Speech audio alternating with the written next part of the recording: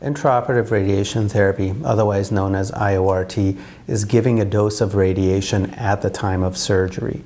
Uh, there are different technologies doing this, but they all essentially do the same thing, where at the time of surgery, some dose of radiation is given to the tumor bed and the surrounding normal tissue to try to minimize the risk of cancer coming back. Normally, us radiation oncologists don't like going to the operating room, but this is the one instance that we do.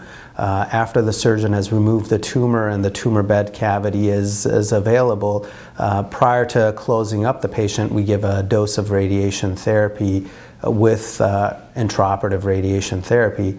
And this uh, allows us to spare the normal tissue, some of the normal tissue, such as the skin, uh, where we don't give any radiation to that structure.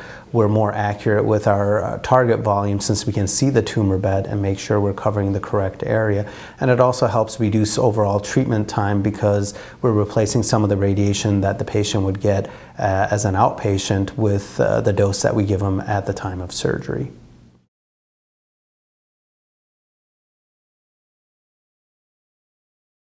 Hi, I'm Dr. Jay Harness, and I want to share with you important information that I believe that every newly diagnosed patient with breast cancer needs to know.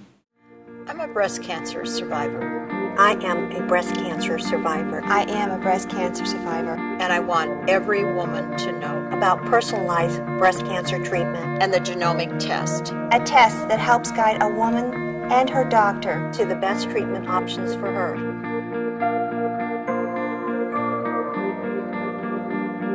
pass it on.